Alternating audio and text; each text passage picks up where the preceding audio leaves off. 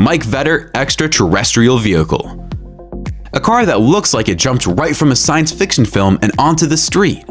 Have a look at this extraterrestrial vehicle that is exceptional in every sense of the word. The Mike Vetter extraterrestrial vehicle is a one-of-a-kind car that you definitely don't see every other day. With its scissor doors, gull-wing windows, a Chevy 2-liter supercharged motor, and dual batteries, this car is sure to blow you away in every manner possible. What's more, the extraterrestrial vehicle features an all-leather, suede, and aluminum interior that's going to give its passengers a next-level luxurious feel. This futuristic ETV is one of the most incredible self-made cars out there, and every automotive enthusiast is